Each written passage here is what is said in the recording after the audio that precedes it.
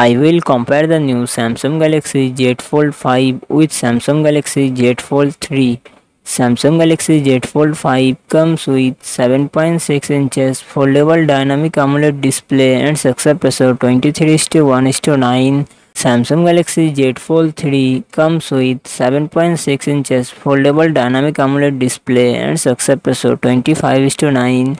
Samsung Galaxy Z Fold 5 run on the Android 13 operating system. Samsung Galaxy Z Fold 3 run on the Android 11 operating system. Samsung Galaxy Z Fold 5 it comes with 12GB RAM and 256GB 512GB 1TB internal storage. Qualcomm Snapdragon 8 Gen 2 processor and GPU Adreno 740.